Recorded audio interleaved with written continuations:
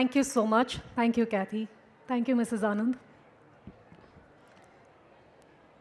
We also have here Gauri Goburdhun, who's a budding lawyer and has co-authored the book with Mrs. Anand.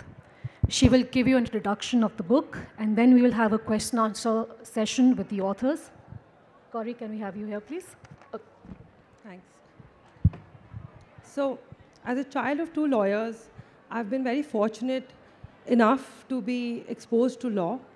This book is an attempt at compiling various criminal cases that have been surfacing, that, that have been so famous that everybody wants to know, yet they are not aware of the facts and circumstances. Uh, so this, is, this book is a bridge that we want to uh, bridge uh, a gap between lawyers and non-lawyers so that the non-lawyers can have a better understanding of the way that Indian trials, Indian trials are uh, gone about.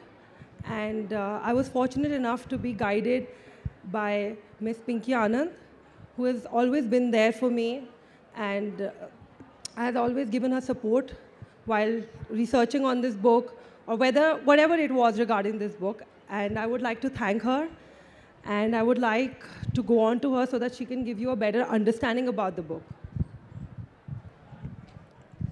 Welcome, Ms. Anand. I have Thank here you. some questions that I'm sure all of you would want answers to. If there are any more, we can probably take them if we have some time. So, uh, she started practicing law 35 years ago. At that time, the profession was mostly a male bastion. I wanted to, I wanted to know if, as a woman, was it very difficult for you to reach where you've reached today? Thank you, Sadamini. Uh, ladies and gentlemen, I must share with you that Sadamini, uh, with whom we are doing the in conversation, has been a pillar of support not only on the question and answers that we are going to have today, but on the book. And but for her, this, this whole project might well have been another year or two down the line. So thank you very much, Sadamini, on the first level on that front. But having said that, uh, being a woman lawyer, firstly, I don't like her indicating my 35 years. I know it sounds seniority, and I know it sounds as if you, you've kind of been there for a while, but I would have been happy to say I've been there for a few years. Never mind that, Sudhamni. But um, coming on what uh, it has been to be a female lawyer and kind of making it up there. I don't know where I have made it, but I believe according to most standards, I have made it somewhere. Um, it's been a, a tough ride. It's been a tough ride, not not only because uh, uh, females, as in female versus male uh, lawyers, but the point being that law itself is a tough profession and trying to make it somewhere where the glass ceiling is or beyond the glass ceiling, uh, along the leaky pipes theory, where people kind of hold down on the way, has been an attempt. But I guess the reason why it was good is because the first part of my career, we kind of experimented and moved along. It was not a destination that you had to be that right there. So possibly I'm a little late in my 35 years. I should have been here maybe 25 years down the line. But um, making it in the sense of at the top has always been a difficult journey for a lawyer or a person, more so for a woman, because you do not have the odds in your favor. They're stacked against you. You don't have the boys' club. You don't have the camaraderie. You have half your female colleagues doing other things, being housewives, uh, not being engaged in active practice. So where do you get your entire support system? Uh, I have been lucky, um, and possibly that's why I'm here. In fact, the current book also, believe it or not, it was last year's Zealot. I had written a textbook for lawyers, uh, which is an international jurisdictions.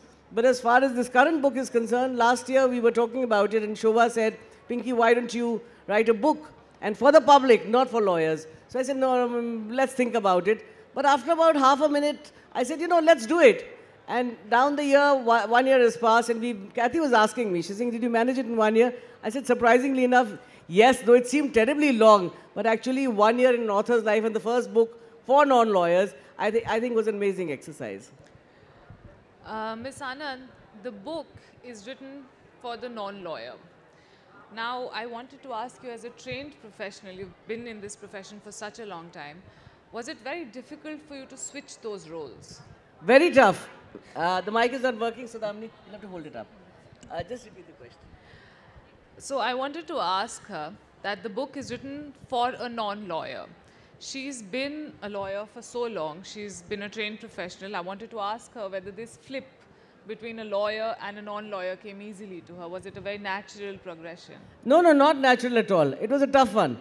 Uh, I have actually ingrained in me by now the legal acumen, so to say. I, I, believe I have. I don't know if everybody in the legal community thinks so. So trying to actually write outside the legalese, so to say, the, the complicated text, the Latin words, if you like, and coming to the backdrop of the scene to trace down the history. And more so, a lawyer is boring by nature. I'm so sorry. Uh, it's academic boring to that extent. Interesting as intellectuals go for that exercise, but trying to reach out to the audience to say, here's a book which you would like to read, which I would like to read, maybe when taking a flight, because that's all I read by now. I only, it's when I'm taking a flight that I pick up a book. But it's something that I should be able to go through and not put down after the third page and say, enough is enough, this sounds too dry. So that avatar of writing as, as, a, as a human being, as a person who's going behind the scenes to delve out the intricacies and to unravel, as they say. Uh, Kathy unraveled the book and unveiled the book, but I was unraveling the entire theory behind these cases and what went behind the people, the persona. That was my basic context. Some of these cases span over three decades. We have cases from 1970s, which you've mentioned in the book that you've attended. So have you noticed any change in how public outrage translates itself to, uh, let's say, tightening the joints of the system? I think we've come a long way. And one thing I must say about the book, and possibly we'll, we'll talk about it a little later also, is it is my attempt eh, with this book to actually rejuvenate our faith in the system. Criminal justice uh, system itself is, comes in for a lot of flack.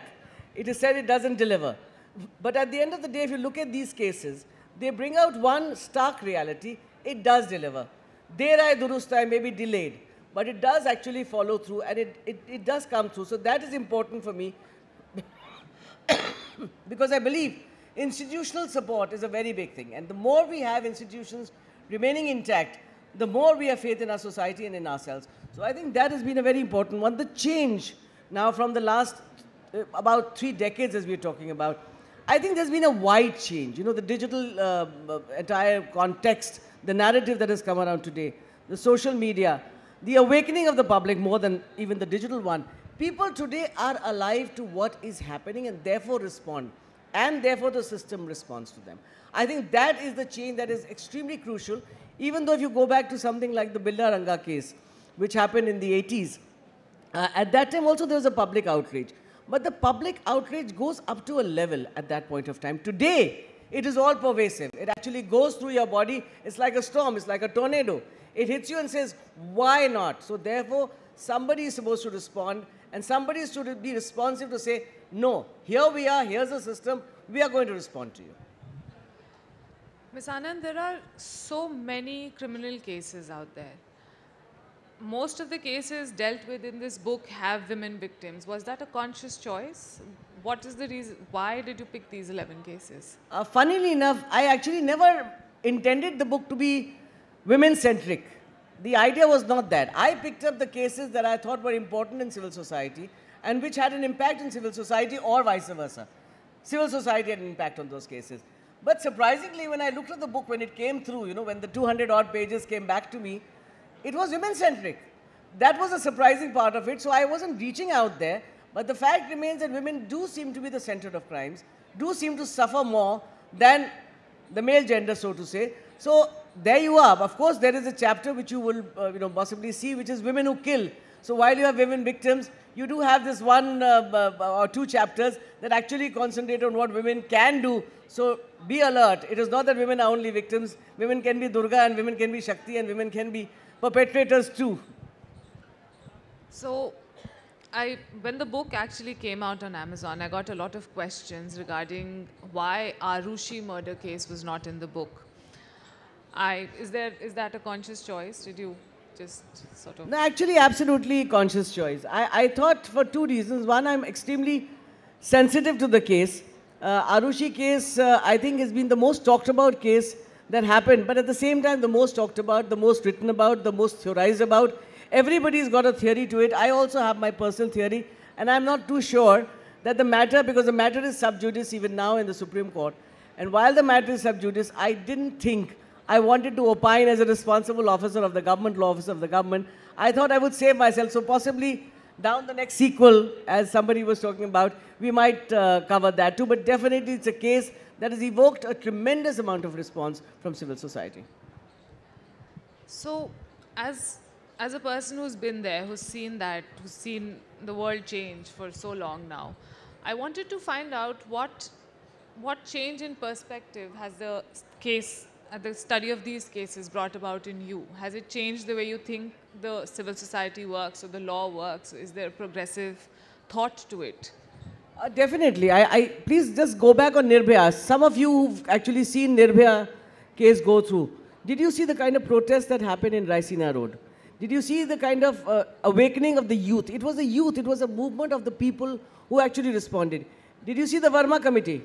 Did you see the kind of recommendations made? Did you see the translation in actual law? So today, thanks to the Nirbhaya case, horrific as it was, we've had changes in two dramatic parts of law. One of which was the, the penal laws of the country, where you've had the rape laws being changed, sexual assault concept changing, uh, stalking, voyeurism, everything being included in the penal code.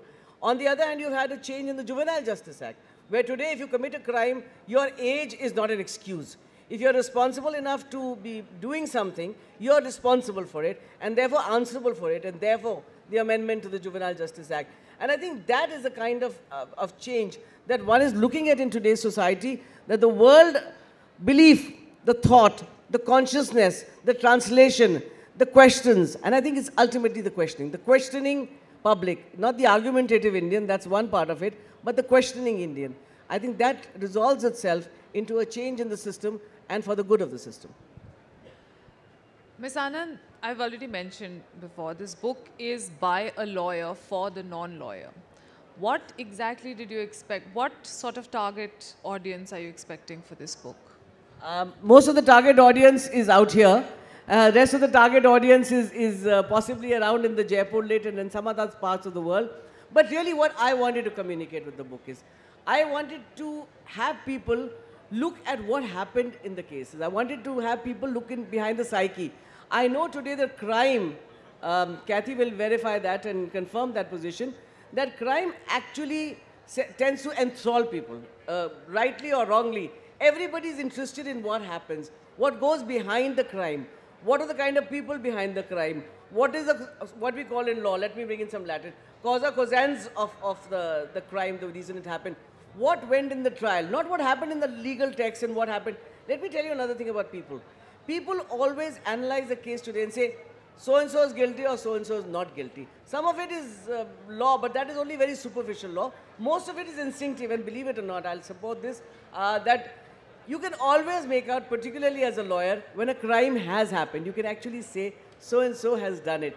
Whether you can ultimately prove it or not, please understand, criminal law survives on the Voltairean kind of principle that, you know, let let not a single innocent man be hanged, even if half the guilty in the world go free. That is the basic principle that we still follow in the principles of due process of law. So that is what I think is interesting, to look behind what happened in the Tandoor murder case. For example, you believe it or not, in, in the Tandoor murder case, the Tandoor was brought into the court to actually demonstrate what, what happened to Naina Sahni. So you know, you, you go behind this and you actually see what, what emerged, the confessions of uh, in the Nithari murder. If you look at that, it is macabre, it is cannibalism. So you're actually looking behind to see what kind of psyche that goes behind. Uh, of course, it's always a macabre one, but as I said, uh, I personally have also grown up reading a lot of suspense and other thrillers. This is as much of a suspense thriller, so I want people to come back and say, I found it pacey, I enjoyed reading it, I couldn't keep the book down. I think I'll be happy with that, and that's all that I need really to take home. Uh, would you like to read us an excerpt from the book? I'm sure everybody here would like to hear. Uh, I want all of you to, of course, read the book. But while we do that, uh, just uh, a short uh, reading. This is from Priyadarshini Mattu. Um, I don't know how many of us associate. I do. She's from Delhi University. I'm from Delhi University. From the Campus Law Center, again, which is part of Delhi University. A young law student who suffered um, and, and was murdered and the things that went behind. Serious questions are raised when a judge states a man is guilty yet declines to convict him. After all, why would a judge refuse to punish a man he proclaims to be guilty? As baffling as it, is, it, as it might sound, this is exactly what the trial court judge did in Priyadarshini Mattu's case. In a judgment that shocked the nation, The judge apologet- apologetically held, I know that he is the man who committed the crime, but I acquit him, giving him the benefit of doubt. I'll just pause for a moment. I was actually shocked. I was there in the university at the same time, and it was shocking that this could actually happen by a judge saying that I know he's guilty, but I have to let him go. But sometimes that is what the law makes you do. Uh, one of the famous tenets of criminal jurisprudence, as stated by Voltaire in 1749, is much more prudence to acquit two persons, though actually guilty, than to pass sentence of condemnation on one that is virtuous and innocent. Or, as echoed by Benjamin Franklin, it is better that 100 guilty persons should escape than that one innocent person should suffer. But letting the guilty escape is, no, is not doing justice either. In this case, the man was not innocent by any stretch of imagination, as shown by the evidence produced in the trial. So then why was he acquitted? The answer lies in Priyadarshini Mattu's murder trial. The harassment of Mattu started in a manner that has been glorified by Bollywood. Boy follows girl, constantly telling her he loves her and tries to convince her to go out with him. Uh, Unfortunately, in this case, stalking led to the downfall of two young lives. Mattu was a 25-year-old student at Delhi University, prestigious faculty of law, and Santosh Singh was her senior. Santosh had feelings for Priyadarshini and used to follow her around everywhere, almost stalking her even after he graduated from the university. Santosh harassed and intimidated Priyadarshini on numerous occasions. Increasingly frustrated by his behavior, she filed a police complaint against him as a last recourse. The police announced Santosh, summoned Santosh to the police station and warned him. Priyadarshini was given a personal security officer for her protection. Soon thereafter, Priyadarshini was found brutally murdered at a relative's house. Santosh was the main suspect from the start, as Priyadarshini's relatives knew of his previous conduct. Following Santosh's denial of any wrongdoing on his part, the matter went to trial. The case fits into the narrative of a rich and powerful father doing everything in his power to subvert the law and protect his son. Santosh Singh was the son of the Commissioner of Police in Delhi. It was noted that the officials of the Delhi police sat on the complaints, conspired to conceal evidence, and did everything that they were not supposed to do. This could well have closed the chapter without Santosh facing any consequences, but the media rose to the occasion and waged a war. And there it goes on, ultimately reaching, of course, in a conviction. And this is the kind of reparation that we are trying to bring forth in this book, the kind of message that we are trying to deliver to society, that it does matter, we matter.